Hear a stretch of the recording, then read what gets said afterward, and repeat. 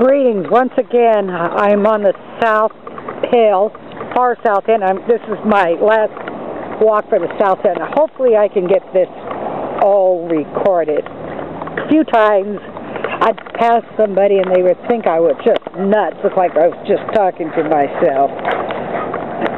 Well, I didn't make last week in weigh in. I had to take my client to Sandpoint to her pain doctor and I think the 24th is another one I'm going to be missing. The challenge I've been doing real good as for weigh-in, but today it seems like I'm having trouble getting my water down.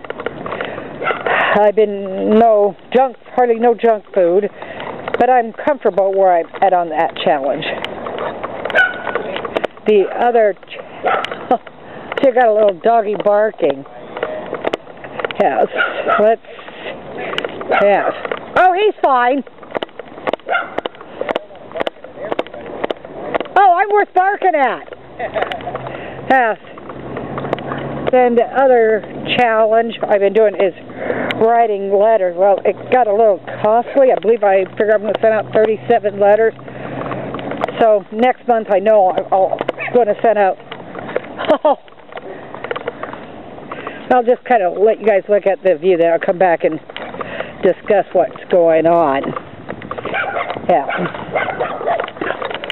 Oh, Mr. Doggy's barking. You couldn't probably hear him. Oh, yes. Let's see. Oh, wow. I like this in the town. So, my next part of walking in Boundary County, I'm not sure where it's going to be. Yeah, here's a home for sale. Guy, because I got a family of children. Not much jobs around here.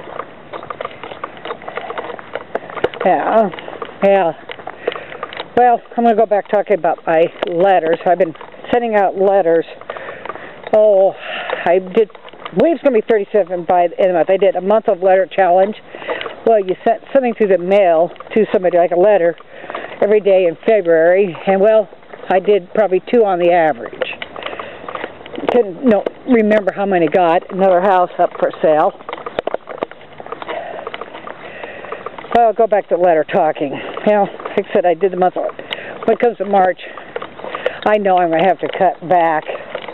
I get, both of us, Steve and I, have dentist appointments this month coming up, and there's a possibility my client is going to be moving back to Kentucky.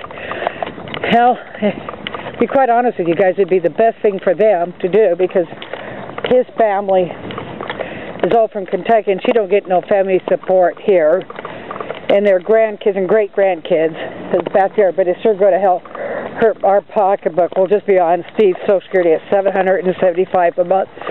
Well, everything we own is paid for, so, you know, but there's going to be no money for extras. And I'm sort of trying to get another client lightened up. Yeah, well, kind of, I thought making videos would be real easy hell, I'm finding I feel like if you actually know me, I'm quite a talker, and every now I'm going up, up, up. Well, you know what? I'm coming to the end of this one road. I'm going to shut the camera off. Okay, talk to you guys later. Bye.